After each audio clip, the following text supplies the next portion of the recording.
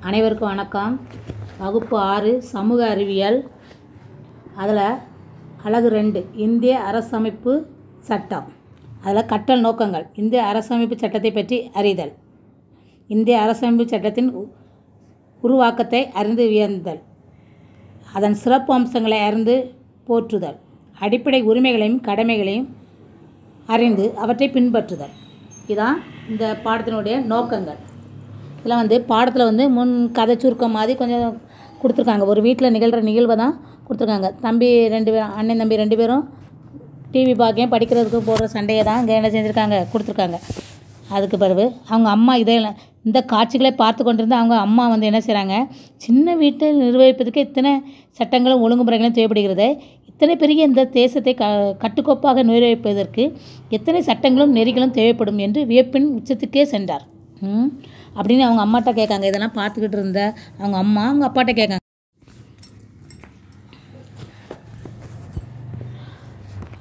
அது ஒரு கடல் தீபா. பல மதங்கள் பல மொழிகள் பல இனங்கள் பண்பாடுகளை சேர்ந்த மக்கள் வாழும் ஒரு நாட்டில் அனைவரும் சம சமத்துவமாக நிர்வகிப்பதற்கு வலுவான தெளிவான சட்டங்களும் வழிமுறைகளும் தேவை. அதைத்தான் அரசமைப்பு சட்டம் என்கிறோம் அரசமைப்பு சட்டம் என்ன?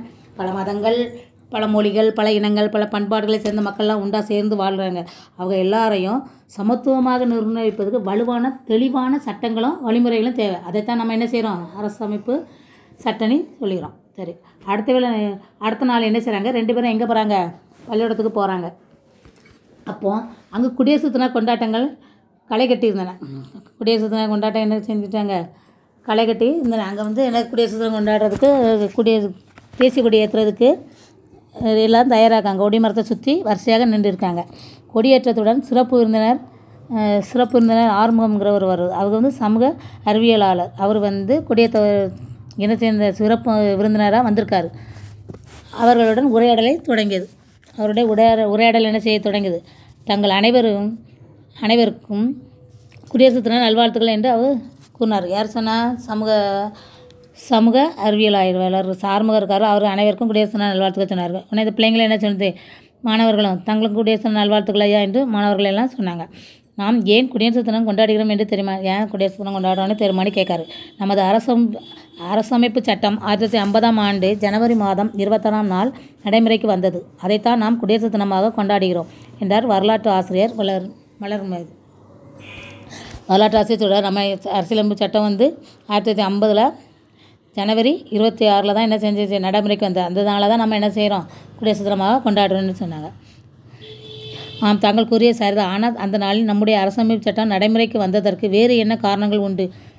முக்கியமாக முக்கியமான ஆயிரத்தி தொள்ளாயிரத்தி இருபத்தொன்பதாம் ஆண்டு லாகூர் லாகூரில் கூறிய காங்கிரஸ் மாநாட்டில் முழு சுயேட்சத்தை சுயராட்சியத்தை அடைவது என்ற முழக்கம் வலுப்பெற்றது ஆயிரத்தி தொள்ளாயிரத்தி இருபத்தி ஒம்போதில் நடைபெற்ற லாகூர் காங்கிரஸ் மாநாட்டில் தான் முழு சுயராட்சியத்தை அடைவது என்ற முழக்கம் வலுப்பட்டது அதனைத் தொடர்ந்து ஆயிரத்தி தொள்ளாயிரத்தி முப்பது ஜனவரி இருபத்தாறாம் ஆண்டு இருபத்தாறு அன்று முழு சுதந்திர நாளாக கொண்டாடப்பட்டது. பின்னாளில் அதுவே நமது குடியரசு தினமாக தினமாக ஆனது என்றார் சமூக ஆய்வாளர் ஆறுமுகம்.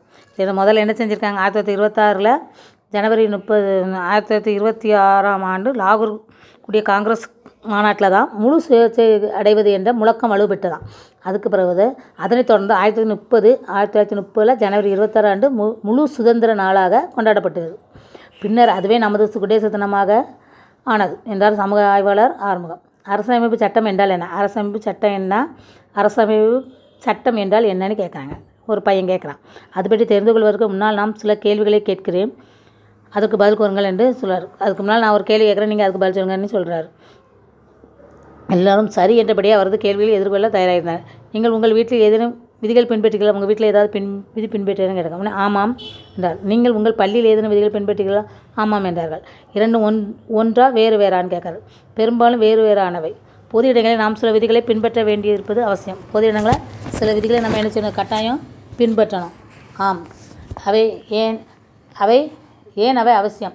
நாம் அடுத்தவர்களை தொந்தரவு செய்யாமல் இருக்க என்றால் தமிழ்ச்செல்வி அதை நம்ம பின்பற்றினா தான் நம்ம அடுத்தவர்களுக்கு தொந்தரவு இல்லாமல் இருப்போம். நம்மை அடுத்தவர்கள் யாரும் தொந்தரவு செய்யாமல் இருக்கவுதான் என்றார் செல்வர். நம்மளை யாரும் தொந்தரவு செய்யாமல் இருக்கணும். அதுதான் நம்ம அதி விதி விதிமுறைகளை பின்பற்றோம் ஆம் நீங்கள் கூறிய காரணங்களை ஏற்புடையவைதான். அதே நேரத்தில் விதிகளை பின்பற்ற சொல்லி யாரும் உங்களை கட்டாயப்படுத்தினால் அப்போது எப்படி உணர்வீர்கள்? யாரும் உங்களை கட்டாயத்தை பின்பற்றணும்னு சொன்னால் எப்படி உணர்வீர்கள்னு கேட்குறா. கொஞ்சம் கஷ்டமாக இருக்கும். உங்களுக்கான விதிகளை நீங்களே உருவாக்கும் போது எப்படி உணர்வீர்கள்? மகிழ்ச்சியாகவும் பெருமையாகும் நம்மளுக்கு நம்மளே நம்மளை விதிகளை விதிகளை உருவாக்கணும்னா எப்படி இருக்குன்னு கேட்க அப்போ நம்ம எப்படி இருக்கோம்? மகிழ்ச்சியாகவும் பெருமையாகவும் இருக்கும்னு சொல்கிறாங்க எல்லோரும் ஆமோதிப்பதை போல் தலையசைத்தனர். அரசமைப்பு சட்டம் ஒரு நாட்டிற்கு தேவையான சில அடிப்படை விதிகளை விதிகள் கொள்கைகளை உருவாக்கி ஆவணப்படுத்துவதோடு தனது குடிமக்களின் உரிமைகளையும் உரிமைகள் கடமைகள் மற்றும் செயல்பாடுகளை வரையறுக்கிறது. பிறகு அச்சட்டத்தின் துணையோடு தான் அந்நாடு ஆளப்படுகிறது. கடமைகள் உரிமைகள் எல்லாத்தையும் வரையறுத்து தான் அந்த ச அதனோடு அத் பிறகு அச்சட்டத்தின் துணையோடு தான் இந்த எனது ஆளப்படுகிறதாம். அரசமைப்பு சட்டம் ஒரு நாட்டில் தேவையான சில அடிப்படை விதிகள் கொள்கைகளை உருவாக்கி ஆவணப்படுத்துவதோடு தனது குடிமக்களின் உரிமைகள் கடமைகள் மற்றும் செயல்பாடுகளை வரையறுக்கிறது. உரிமைகள் உரிமைகள் கடமைகளை எல்லாம் வரையறுத்து பிறகு அச்சட்டத்தின் துணையோடு தான் அந்நாடு ஆளப்படுகிறது. இந்தியாவில் அரசமைப்பு சட்டத்தின் எவையெல்லாம் இடம்பெற்றன என்று கேட்டால் தீபா. இந்திய அரசமைப்பு சட்டத்தில் என்னெல்லாம் இருக்குன்னு பார்ப்போம். இந்திய அரசமைப்பு அரசமைப்பு சட்டம் தான் தமது நாட்டின் உயர்ந்தபட்ச சட்டமாக விளங்குகிறது. இந்திய அரசமைப்பு சட்டம் நாட்டில் நமது நாட்டில் உயர்ந்தபட்ச சட்டமாக விளங்குகிறது. இந்திய அரசமைப்பு சட்டம் தான் நமது நாட்டில் உயர்ந்த சட்டமாக விளங்குகிறது. அது அடிப்படை அரசியல் கொள்கைகளை வரையறுக்க வரையறுப்பது இந்த அடிப்படை அரசியல் கொள்கைகளை வரையறுப்பது கட்டமைப்புகள் வழிமுறைகள் அதிகாரம் ஆகியவற்றை விளக்குவது அரசு நிறுவனங்கள். ஆகியவற்றெல்லாம் விளக்குறது எது? அரசு நிறுவனங்களில் கடமைகளை பட்டியலிடுவது குடிமக்களின் அடிப்படை உரிமைகள் மற்றும் கடமைகளை நிர்ணயம் செய்வது வழிகாட்டு நெறிமுறைகளை வழங்குவது ஆகியவற்றை வழியே ஓர் ஒட் ஓர் ஒட்டுமொத்த கட்டமைப்பு நமக்கு தருகிறது. என்னதெல்லாம் சேர்ந்து கடமைகள் பட்டியலிடுவது குடிமக்களின் அடிப்படை உரிமைகள் மற்றும் கடமைகளை நிர்ணயம் செய்வது வழிகாட்டு நெறிமுறைகளை வழங்குவது ஆகியவற்றின் வழியே ஓர் ஒட்டுமொத்த கட்டமைப்பை நமக்கு தருகிறது. இதற்கான ஆரம்ப கட்ட பணிகளை எப்போது தொடங்குது என்று கேட்டால் கிறிஸ்டோபர். இதுக்கான ஆரம்ப கட்டம் எப்போது தொடங்கிச்சு கேட்குறேன் அரசமைப்பு சட்டத்தை உருவாக்கும் நோக்கில் இந்தியாவில் பல்வேறு பகுதிகள் பகுதிகள் அரசியல் கட்சிகளை சேர்ந்தன.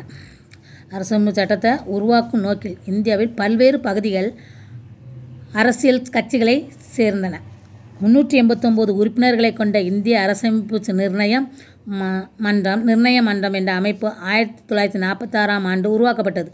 இதன் தலைவராக முனைவர் ராஜேந்திர பிரசாத் தேர்ந்தெடுக்கப்பட்டார். இந்திய அரசமைப்பு சட்டத்தின் தலைவராக இருந்தார் யார்? இந்திய ராஜேந்திர பிரசாத் தேர்ந்தெடுக்கப்பட்டிருக்கார். எப்போனா ஆயிரத்தி தொள்ளாயிரத்தி நாற்பத்தாறாம் ஆண்டு. அப்போ தான் இந்திய அரசமைப்பு சட்டத்தை என்ன செய்யிருக்காங்க? உருவாக்கியிருக்காங்க. வேறு யாரெல்லாம் இந்த அமைப்பில் இடம்பெற்றிருக்கார்கள்னா ஜவஹர்லால் நேரு சர்தார் வல்லபாய் பட்டேல் மௌலானா ஆசாத் எஸ். ராதாகிருஷ்ணன் விஜயலட்சுமி பண்டிட் சரோஜினி நாயுடு உட்பட பலர் இந்த அமைப்பில் இடம்பெற்ற இதில் இத்தனை பேர்லாம் இருந்திருக்காங்க. ஜ ஜவஹர்லால் நேரு சர்தார் வல்லபாய் பட்டேல் மௌலானா ஆசாத் எஸ். ராதாகிருஷ்ணன் விஜயலட்சுமி பண்டிட் ஜ ஜரோஜினி நாயுடு உட்பட பலர் இந்த அமைப்பில் இடம்பெற்றிருந்தார்கள். எந்த அமைப்பில்? இந்திய அரசியலமைப்பு சட்டத்தில். இந்திய அரசமைப்பில் பெண்கள் எத்தனை பேர் இருந்தார்கள் என்று கேட்டார்? இந்திய அதில் பதினஞ்சு பெண்கள் உறுப்பினராக இந்த அமைப்பில் இடம்பெற்றிருந்தார்கள். எத்தனை பெண்கள் இருந்தாங்களா? இந்திய அரசமைப்பு சட்டத்தில் பதினஞ்சு பெண்கள் உறுப்பினராக இருந்தாங்களா ஏழு பேர் கொண்ட அரசமைப்பு சட்ட வரைவு குழு உருவாக்கப்பட்டு ஏழு பேர் கொண்ட அரசமைப்பு சட்டம் வரைவு உருவாக்கப்பட்டு அதன் தலைவராக அம்பேத்கர் தேர்ந்தெடுக்கப்பட்டார். இந்தியா இது அரசமைப்பு சட்டத்தின் இதில் வந்து யார் இருந்தால் ராஜேந்திர பிரசாத் தலைவராக இருந்தார். ஏழு பேர் கொண்ட அரசு அரசமைப்பு சட்ட வரைவு குழு உரு உருவாக்கப்பட்டு அதில் தலைவராக இருந்தவர் அம்பேத்கர். அதில் தலைவராக தேர்ந்தெடுக்கப்பட்டவர் யார்? அம்பேத்கர். வரைவு குழு உறுப்பினராக தேர்ந்தெடுக்கப்பட்டவர் யார்? அம்பேத்கர். மேலும் அதற்கான ஆலோசனை ஆலோசகராக பி என் ராவ் நிர்ணய நியமிக்கப்பட்டார். இக்குழுவில் முதல் கூட்டம் ஆயிரத்தி தொள்ளாயிரத்தி நாற்பத்தாறாம் ஆண்டு டிசம்பர் ஒன்பதாம் தேதி நடைபெற்றது. அன்றே அரசமைப்பு சட்டத்தை எழுதும் வேலை தொடங்கியது. அந்த அப்போவுமே அரசமைப்பு சட்டத்தை எழுதுகிற வேலையை தொடங்கிட்டாங்க. எதை அடிப்படையாக கொண்டு எழுதினார்கள் அப்படின்னு கேட்குறாங்க இக்குழுவில் இங்கிலாந்து அமெரிக்கா அன்றைய சோவியத் ரஷ்யா பிரான்ஸ் சுவிட்சர்லாந்து உட்பட அறுபது நாடுகள் அரசமைப்பு சட்டங்களை வாசித்து அவற்றில் இருந்த சிறப்பான பகுதிகளை முன்மாதிரியாக எடுத்துக்கொண்டு நமது அரசமைப்பு சட்டத்தை உருவாக்கினார்கள். பல நாடுகள் வெளிநாடுகளில் உள்ள அறுபத்தோரு நாடுகள் உட்பட எல்லா சட்டங்களையும் வாசித்து அதில் சிறப்பானதுகளை மட்டும் தேர்ந்தெடுத்து நமது அரசமைப்பு சட்டையை உருவாக்கினாங்க. ஒரே மூச்சில் எழுதினார்களா? ஒரே இதாக எழுதி முடித்தாங்களான்னு கேட்காங்க. இல்லை அரசமைப்பு சட்டம் இறுதி இறுதி செயல்படுவதற்கு முன்னர் சுமார் ரெண்டாயிரம் திருத்தங்கள் அதில் மேற்கொள்ள ஒரே இதாக எழுதி முடிக்கல. அதில் எத்தனை திருத்தங்கள் இந்த ரெண்டாயிரம் திருத்தங்கள் அதில் மேற்கொள்ளப்பட்டன. எப்போது அச்சட்டம் எழுதி முடிக்கப்பட்டது? ரெண்டு ஆண்டுகள் பதினோரு மாதங்கள் பதினெட்டு நாட்கள் கடந்த நிலையில் ஆயிரத்தி தொள்ளாயிரத்தி நாற்பத்தொன்பதாம் ஆண்டு நவம்பர் மாதம் இருபத்தஞ்சாம் நாள் முழுமையாக அரசமைப்பு சட்டம் தயாரானது. இந்த சட்டம் எப்போ உருவானதான் எழுதி முழுமையாக எழுதி முடிக்கிறது ரெண்டு ஆண்டுகள் பதினோரு மாதங்கள் பதினெட்டு நாட்கள் கடந்த நிலையில் ஆயிரத்தி தொள்ளாயிரத்தி நாற்பத்தொன்பதாம் ஆண்டு நவம்பர் மாதம் இருபத்தாறாம் நாள் முழுமையாக அரசமைப்பு சட்டம் தயாரானது. இந்திய அரசமைப்பு நிர்ணயம் மற்றும் நமது அரசமைப்பு சட்டத்தை அன்றுதான் ஏற்றுக்கொள்ளப்பட்டது. ஆகையால் ஆகையினால் தான் அந்த நாளை அரசமைப்பு சட்ட நாளாக ஆண்டுதோறும் நாம் கொண்டாடுகிறோம். இல்லையா? என்று கேட்டான் கார்த்திகா ஆமாம் என்றார் ஆறுமுகம். அரசமைப்பு சட்டத்தை உருவாக்க எவ்வளவு செலவானது என்று கேட்டான் நந்தர். இந்த சட்டத்தை உருவாக்குறதுக்கு எவ்வளவு காசு செலவாச்சுன்னு கேட்குறாங்க. பணம் அறுபத்தி நாலு லட்சம் ரூபாய். இதற்கான இதற்கான செலவிடப்பட்டது. இந்த இது அரசமைப்பு சட்டத்தை உருவாக்குறதுக்கான பணம் எவ்வளோ செலவாச்சுன்னா அறுபத்தி நாலு லட்சம் செலவாச்சான் சரி இந்த பாடத்தை என்ன செய்யணும்னா நீங்கள் ரெண்டு மூணு தடவை வாசிக்கணும். அப்போ தான் என்ன செய்யும் உங்களுக்கு புரியும். இந்த வகுப்பில் இதுவரையும் பார்ப்போம். அடுத்த வகுப்பில் அதன் தொடர்ச்சியை பார்ப்போம். சரியா? நன்றி.